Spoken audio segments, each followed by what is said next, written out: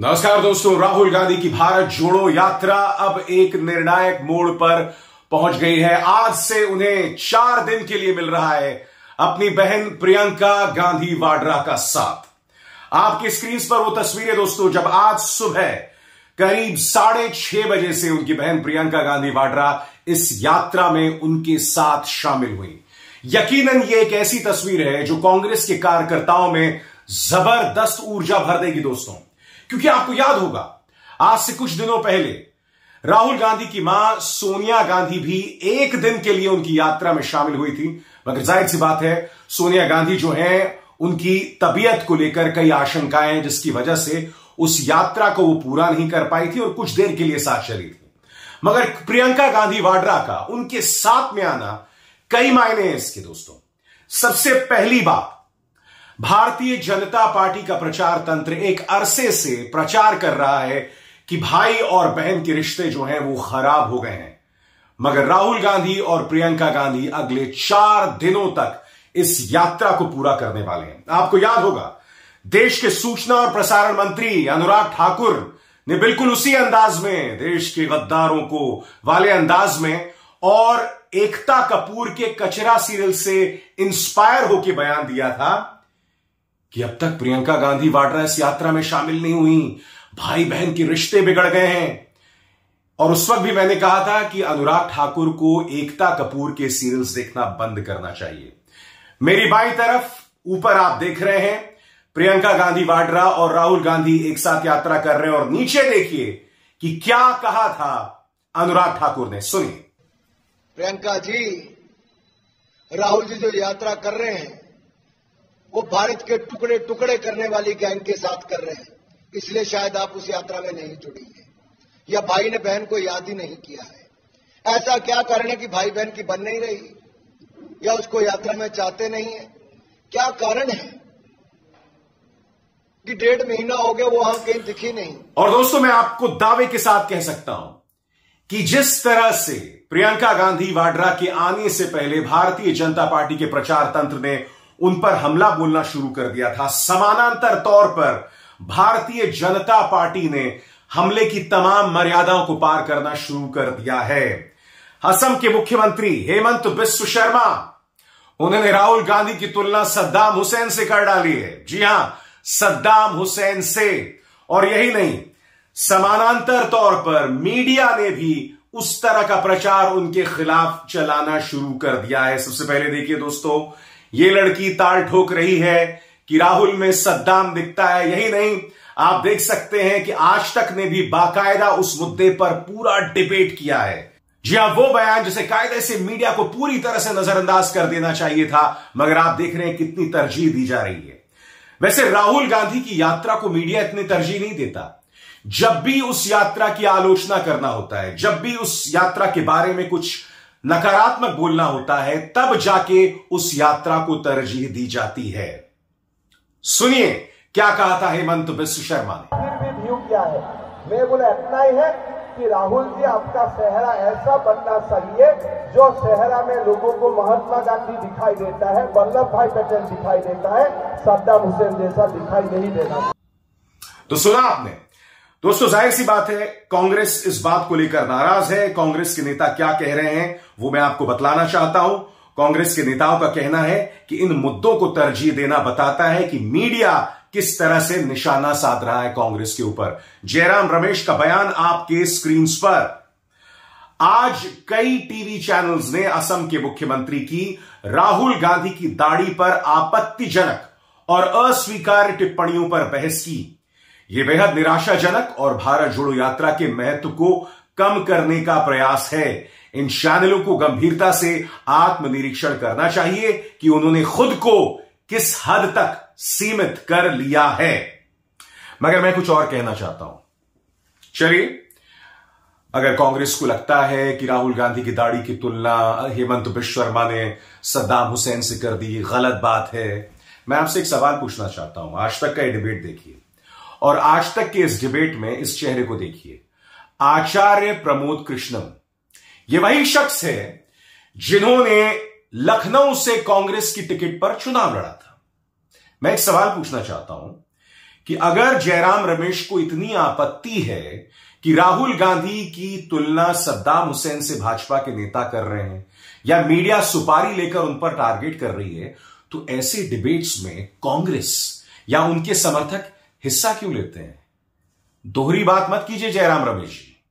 दोहरी और दोगली बात करना बंद कीजिए। अगर आपको लगता है कि राहुल गांधी पर अश्लील हमला किया गया है तो उन डिबेट्स में हिस्सा मत लीजिए। आपके साथ प्रॉब्लम क्या है, मैं आपको बताता हूँ। आपके साथ प्रॉब्लम यह है कि मीडिया की भी आलोचना करनी है। मगर आपके जो नेता हैं, वो अपनी शक्ल दिखाने के लिए इतने भूखे हैं, इतने भूखे हैं कि उन डिबेट्स में भी आपको जाना है। तो ये दोहरी बातें तो बिल्कुल भी नहीं चलेंगी। हाल ही के दिनों में आपने कुछ एंकर्स का बॉयकॉट किया था, जो वाजिब बात है।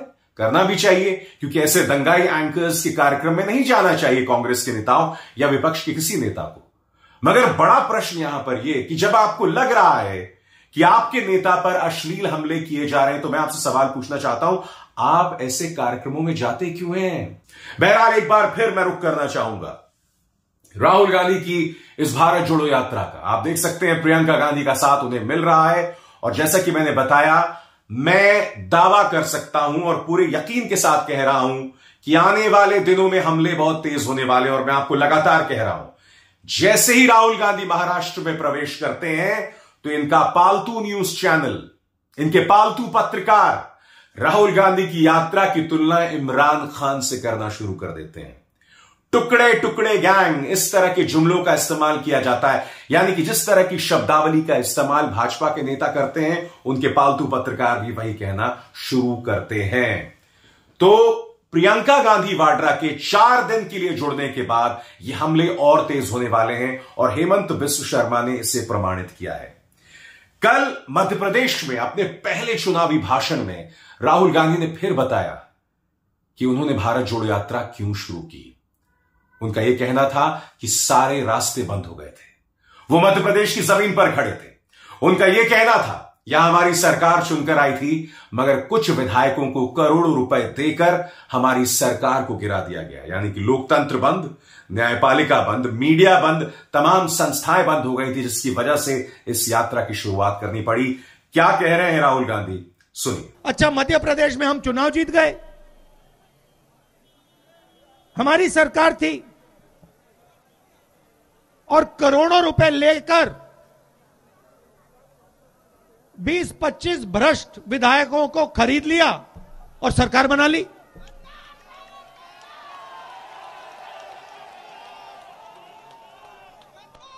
मेरा कहना है, हमने भारत जोड़ो यात्रा क्यों शुरू की? क्योंकि सब लोकतांत्रिक रास्ते बंद थे।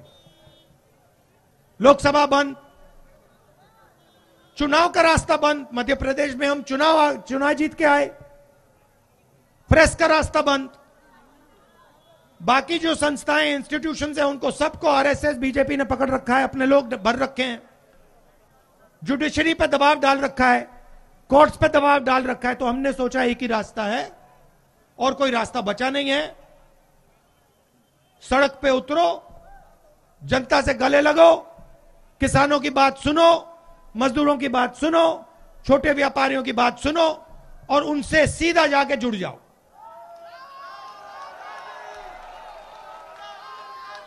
हमने सोचा भी नहीं था, मैं आपको सच बता रहा हूँ, हमने सोचा भी नहीं था कि इतनी शक्ति, इतना प्यार, इतना सपोर्ट हिंदुस्तान के लोग मध्य प्रदेश, महाराष्ट्र, केरला, आंध्र, तेलंगाना, तमिलनाडु के लोग इस यात्रा को देंगे।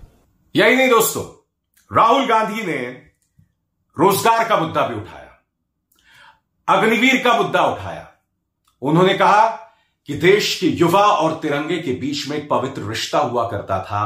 मोदी सरकार ने उस पवित्र रिश्ते को बुरी तरह से रौंद दिया। किस तरह से अपनी बात को रख रहे हैं, आइए सुनते हैं। रिश्ता क्या था? अगर एक युवा इस झंडे की रक्षा करना चाहता था तो हिंदुस्तान की सरकार उससे हाथ मिला के कहती थी, आपने अपनी ज़िंदगी इस झंडे को दी, आपकी ज़िंदगी भर की रक्षा हिंदुस्तान की सरकार आपकी करेगी। यह रिश्ता था। अब यह रिश्ता, ये पवित्र पवित्र रिश्ता, इस रिश्ते को नरेंद्र मोदी जी ने तोड़ दिया है। कैसे तोड़ा? नरेंद्र मोदी जी कहते हैं कि जो भी युवा इस झंडे की रक्षा करना चाहता है, उसे हम छह महीने की ट्रेनिंग देंगे और चार साल बाद उसे लात मार के भगा देंगे। बहरहाल, आज की जो बड़ी खबर है, वो ये है कि प्रियंका गांधी वाड्रा अपने भाई राहुल गांधी के साथ इस भारत जोड़ो यात्रा में जुड़ रहे हैं। और जैसा कि मैंने कहा हमले अब और तेज होने वाले हैं। अगले चार दिन पर हमें निगाह रखनी होगी।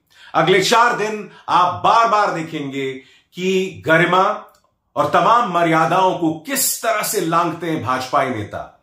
किस तरह से प्रधानमंत्री कार्यालय के जोशी जी की तरफ़ से फरमान आता है और न्यूज़ चैनल्स जो हैं, इस मुद्दे पर किस तरह के वाहियात और अश्लील डिबेट्स करते हैं यह बहस शुरुआत है दोस्तों। अगले चार दिन देखिएगा एक के बाद एक आप देखेंगे किन स्तरों को लांगती है मीडिया, एक के बाद एक किन मर्यादाओं को लांगते हैं भाजपाई नेता और प्रियंका गांधी वाड्रा का जो प्रवेश है, उसने अब इस बात को और पुख्ता कर दिया है।